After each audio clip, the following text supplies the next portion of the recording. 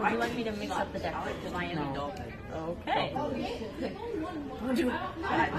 I'm gonna riffle through the cards, and whenever you want, just tell me to stop. Stop. Right here.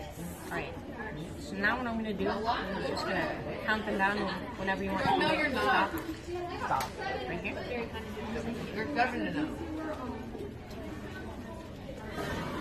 Yeah, and I'm watching. To mix it up a little bit more, and put one on the top, one on the bottom, one on the top, one on the bottom. Okay. So now what I need to do is pick up, hold this, and look at the bottom card. Okay. And I won't be able to see them. right?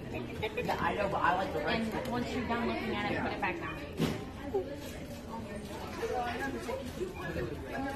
It was raised on until like switched. Done? Yeah. All right. Oh, wait, hold on. Oh, never mind. I So that is your chosen card. Okay.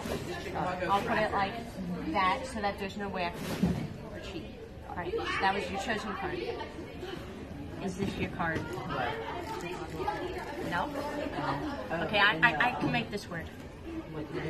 Just hold this in your hand and envision your card in your mind. Okay. Just envision it in your mind. Turn it over. Wait, what? How? How? Give the camera. How?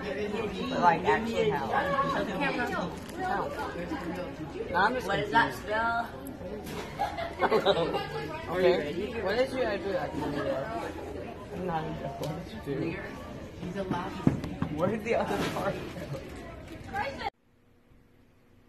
Okay, so Jackson, mm-hmm. this ten of diamonds will be your card. Okay. Okay. Right.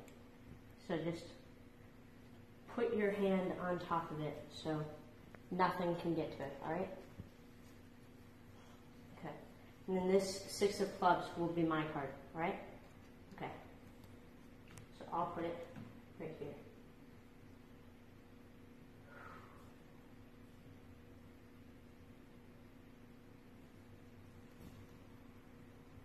I now have the ten of diamonds. And if you flip over your card, you now have the six of clubs. As soon as you did that, I kind of felt like my whole mind just break down for a second, like like vision go into my face and then come back out. That's an interesting way to put it.